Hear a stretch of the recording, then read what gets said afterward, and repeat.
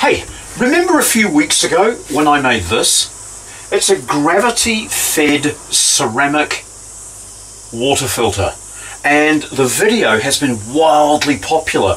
Already it's up to around 250,000 views. And with those 250,000 views comes a constant stream of comments and questions. Many of those comments are following the same lines. So I've picked the top four comments that people have been making about this water filter and I'm going to just give a little rehash of certain details of this water filter.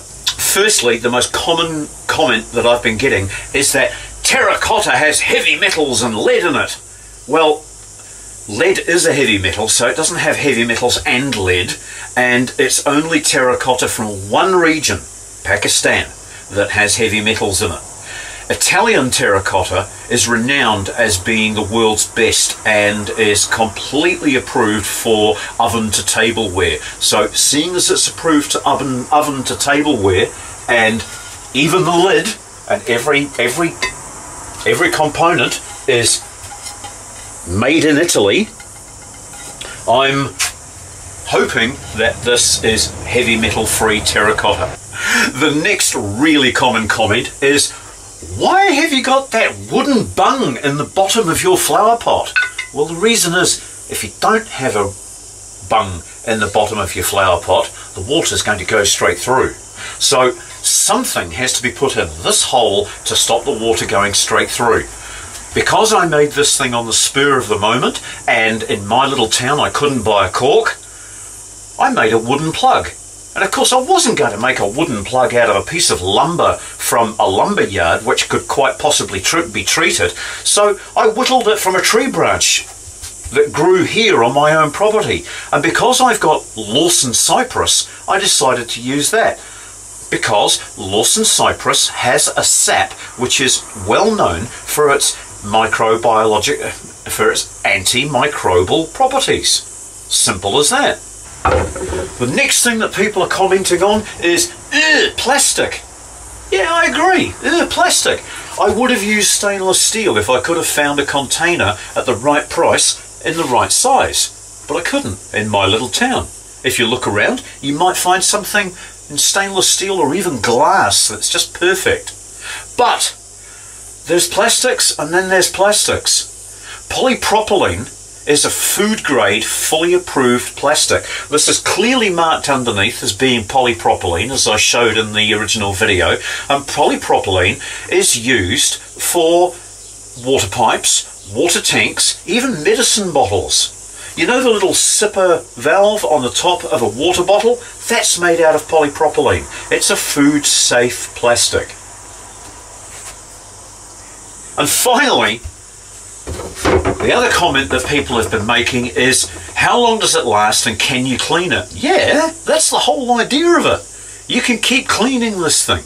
What I do is about once a month, I'll take this out, wash it with hot water and baking soda or sometimes vinegar, and I use a natural fibre scouring pad. Don't use a 3M Scotch-Brite because you'll end up with microplastics in your water. In fact, don't use those things anyway for, for um, in the sink because you're putting microplastics into the wastewater, which eventually makes it into the oceans, which makes it into the fish, which we eat, so it comes straight back into us. Think ahead. One of the other comments is Collecting rainwater is dangerous. It's full of bird poop and dead animals. Well, maybe in some situations if you have a poorly maintained system and you don't keep your roof clean, but my water doesn't even hit the roof. My water comes straight down into this container, goes through this filter screen, and then is drawn off as I need it from the tap at the bottom. Remember, it's only my drinking water. Okay, I use um, water from other sources for showering and washing the car and water blasting, but anything that goes into my body goes through this system. And another point I'd like to make is the water that falls into my rainwater catcher is the same water that falls into the town reservoir, minus all of the chemicals and treatment that they put into it. Surely that's better. Thank you for taking the time to watch my videos. I'm coming up to 6 million views now, which is really exciting. I started this channel off three years ago, knowing that I was going to be not specialising in one thing, and I wondered if it was going to be a success. Well, you guys have proved that it has been a success, and I want to thank each and every one of you for watching, subscribing, commenting, becoming a personal friend. It's been a wild ride, and I'm loving it. So, if you haven't already subscribed to the channel, why not do it? Keep an eye on what I do here at my little place and have a look through the back catalogue. Chances are you'll find something that's very useful for you and keep an eye on what's coming up because there's always something new happening at Tiny House and Off Grid Resources.